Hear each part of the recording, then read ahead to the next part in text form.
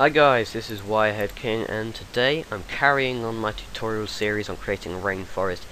In the last part we created this uh, shrub here and right now in this next part we're going to be creating variations of it and also working on the materials. So let's work on the materials right now but first of all uh, if we just you know press A and then de uh, deselect A we have now saved these settings and now set and done. I'm just going to save this actually. Save as part 2. Because, you know, I don't want to accidentally mess up the recording, I have to do some stuff. Okay, part 2. And then... Okie dokie, there we go. So, right now, uh, this is classed as a curve, because if you remember, we actually added in a curve to, uh, you know, make this. Uh, we can easily turn this into a mesh by pressing Alt C and choosing mesh from curve like that.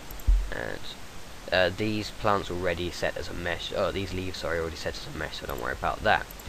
Now, um, before we start joining the objects together, we want to give this a material. So these are leaves, and let's make this bright green so we know they're leaves. Maybe darker. There we go. And this is a shrub uh, tr uh, shrub trunk. There we go. I don't know what to call it really, but there we go. Now we can join up our trunk with our leaves, like that. And yeah, there we go. Now, with the trunk, we're actually, well this particular trunk anyway, we're going to make our own texture just using a cloud texture because we could add in a, in fact we might add in a real element. Uh, let's think. No no we're going to make our own texture. So if we add a new texture like this and call it uh, shrub trunk color and let's just call it color actually because then we can keep things in this set key like that okay um, yeah, what we're going to do is, in the colours, if we tick ramp, and then set the alpha up to 1, and make this like a dark browny yellowy colour like that. Maybe make it a bit more neutral, somewhere around there. And then with this one up here, we set this to uh, sort of lighter brown, like that. Maybe just increase the contrast to 1.5, maybe even 2 yeah and then just increase the brightness a bit. Um, yeah I don't think yeah just maybe make it a bit brighter and maybe hmm sort of like that colour now we're sort of back where we were. But that's beside the point. Okay let's just yeah let's just uh, carry on and see what happens. We're going to set the noise from soft to hard like that. And also set the size to 0.05 and now we have uh, what sort of like a, a tree bark texture. And we just go into geometry and tick normal here and set it to 0.5 uh, we now have uh, we go to our materials.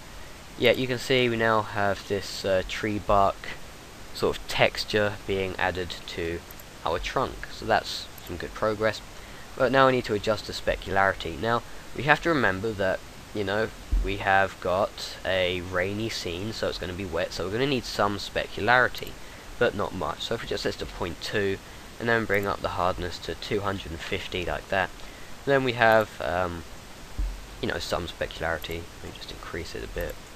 Yeah, something like that. So, fact, yeah, let's leave it at 0.5, and have the specularity at 250 and that will look good. Now for the leaves, okay? Uh, what we're going to do is adjust the specularity, so make it, yeah, just set this to 250 as well in the hardness. Also, we're going to go to translucency and set this to 0.7, because what that would do is mean that when light hits the leaves, uh, the light won't just stop, it will continue through the, uh, the leaves at 0.7, so you know, if light at the energy of 1 hits the leaf, then, you know, it 0.7 comes out and then that will then get divided into stuff. So that it just adds a bit more liveliness to the uh, materials or it just lets uh, it just adds a bit more realism. Okay? So we're also going to turn on transparency and set the alpha down to zero and the specular down to zero as well.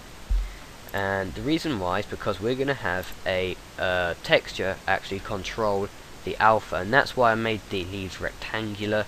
It just saves uh, wasted geometry. So if we add a new texture image or movie I'm going to call this shrub leaf 1 uh, leaf color 1 there we go. And if we just open up a texture I got this texture from the Nature Academy, so if you want to join up there and sign up, then, you know, please do, it's a great course. Okay, so we're going to go for, uh, let's see, this bright green big, okay? We open that up, and tick pre-multiply, and that will just uh, make sure that it's, it doesn't have, because if we if we look closely here, it's sort of got these white outlines. We don't want that, so if we just tick multiply, that's fine. Uh, we don't have to worry about any UV mapping because the leaves are all in their own separate geometry, so the leaf text will just be applied to it separately. So that's fine. Uh, let's also go to uh, uh, alpha in the influence, just check alpha, and what that would do is now if we look at our material, you can see that, uh, you know, there there's a leaf texture to it. If we didn't have that on, then it'd just be nothing. And there we go. So yeah, you can see how that works. And that's the point. Because we've done that, uh, you know, the light will still treat it like a rectangle, so just gonna get weird shadows everywhere. But if we come down to shadow and uh, tick receive transparent on both of these materials, then we should be fine. Okay, so that's the material setup. We could render this in fact, yeah, let's do that. So, we're going to need to set up uh, similar light um, conditions to our scene, but we're going to adjust it in a bit, so... Well, later on in the tutorial we will set up the lighting properly, but, you know. So we're going to have it there, maybe set it to like a sort of orangey yellow colour like that. Turn on ambient occlusion, set it to multiply, and environment lighting, yeah, that's about it really. Render. And... Okay, so it's not looking that bad. They still look like rectangles to me though, but that's fine. Uh, hmm. Yeah, so it's not looking that bad like I was saying. Uh, but there's still some improvements we can do later. And if you look at the trunk colour for this, that looks fine. Might make it a bit smaller later though um, if that's what you know is necessary. Okay, so that's the first shrub done. How long has this tutorial been going on for? Eight minutes. Okay, so now for the variations of this shrub. Now, you could try and duplicate it and play around with it, but that's pointless. Uh, but, so what I'm going to do is just, uh, leave it there actually, and go to a new layer, and add curve, add tree, like that and we just load in the forest shrub preset. You can see we got it there. Oh god no hang on. Yeah you just need to play around a bit and we'll be done. So go to branch uh, sorry branch splitting and change the uh, levels to 3 like that. And then we add our leaves show leaves. There we go that's fine. Now go back to our geometry and increase the random seed to something like that for example. There we go. And then we just apply this material to the leaves here and the trunk material to the trunk. Okay and then just join those together and send them over there. And we can add you know let's add another you know few. So forest shrub. If you don't know how I'm selecting forest shrub you know I've I made a preset in the last tutorial, so yeah, we can, you know, just do that. Uh, set the random seed to something else, so seed 5 is too small. Seed 6, there we go, that's not too bad. Uh, branch splitting, levels to 3, and then leaves, show leaves, like that. And then again, we're going to apply those materials to it. And that's like that, okay. Join up the objects. Uh, wait, yeah, we need to convert it to a mesh first, don't we? And then join them up. Did I do that with the other one? Like convert it to a mesh. Hang on. Uh, which was our first one? Hmm. Alright, yeah, so press Alt C and then mesh from curve. Then join them up like that. And okay, with this one here, just move it over to that layer. Okay, so just made nice, just making uh, this sort of lineup of different shrubs, and it's just a nice, quick way to add some plants. And now you've got that preset there forever, I think. Anyway, so you know we can, uh, you know, play around. You, you know, if you ever want to make another shrub, it should just be there. And also, you know, if you still have the blender file, you can just transfer them in uh, if you know how to do that. Okay, so then under leaves, show leaves, and I just thought under geometry. Oh, good, it has been set to auto. I thought we might have. Uh, you know, I don't know all about what saves and what doesn't in the presets. I'm pretty sure all of it does. Uh, but yeah, okay. So do that, and then give that the trunk. Convert it to a mesh. Join them up. Move it over. Wait, hang on, did I? I think I just made a complete replica of, yeah.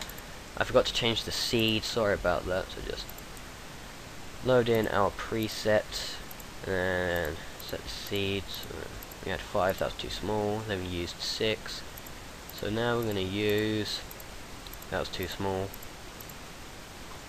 15, okay, and come over to the splitting again, levels 3, leaves, show leaves. Okay? And now just get the materials in like that. Press Alt C, uh, change it to a mesh, then join them up. And you know, should we just call that a day for the shrubs? I mean, in fact, all it takes is one more. We have five, so yeah, let's just add one more. And you know, the more you add, the more realistic your scene will be, so don't just add one. Variation is also another essential for nature, so, you know, if you have loads of plants and they will just look the same, then it's pretty obvious that it's going to be fake, because one of the things you need to keep in mind when uh, creating anything that's CG, or computer generated, you know, unless it's something ridiculous that's obviously fake, you're going to want to sort of aim so that the muggles think that it's real. When I say muggles, I mean the people who don't know anything about this stuff. Apart from that it exists, obviously. Okay, so make that a mesh, and then join it up. And now we have done our, you know, last shrub. Okay, so now I've got five of them. And now let's just name them. So we press N we can load up this thing here. We're going to call this shrub 1, shrub 2, and you know how about I just type in shrub and then copy it by pressing Control C and then putting a 3 there. And that way I can now just paste it in and then put a number at the end of it. And shrub 5 okay?